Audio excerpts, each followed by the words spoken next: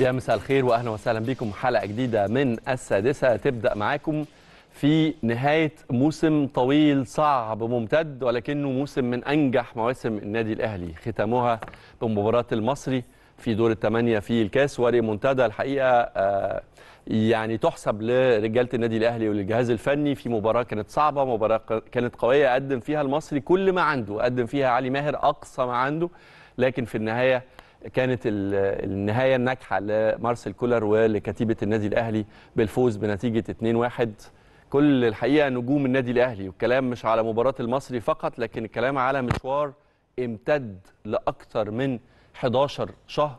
خاض فيه فريق النادي الأهلي 60 مباراة في مختلف المسابقات الدولية والقارية والمحلية ونجح في تحقيق كل الألقاب اللي نافس عليها باستثناء لقب بطولة كأس العالم. بنودع موسم وإحنا مطمنين مرتاحين فرحانين وبنستعد لموسم جديد يظهر فيه وجه جديد للنادي الأهلي على كل المستويات.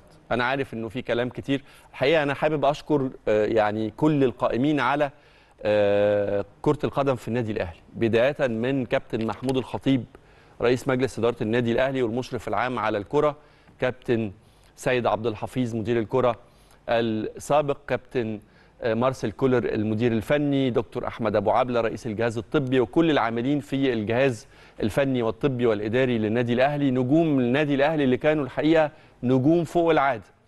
واللي كتبوا الحقيقة تاريخ كبير جدا جدا الموسم ده وخصوصا بالتتويج ب البطولة الأفريقية وعدلوا الإنجاز التاريخي اللي حققوا نجوم بداية الألفية وفازوا باللقب لثلاث مرات من أربع نسخ وإن شاء الله بإذن الله قادرين يكسروا, يكسروا الرقم القياسي وإن شاء الله الموسم اللي جاي هو موسم التحديات. عندنا بطولات كتيرة جدا وده دايما تحت المنظار. فكرة إنك أنت شايف مش بس الموسم اللي جاي الرؤية المستقبلية لفريق النادي الأهلي في السنوات القادمة وخصوصا إنه كل مدى التحديات بتزيد وكل مدى البطولات والمنافسات بتبقى أقوى وبتبقى أطول وبتبقى أصعب وبالتالي دايما لازم يكون عندك رؤية.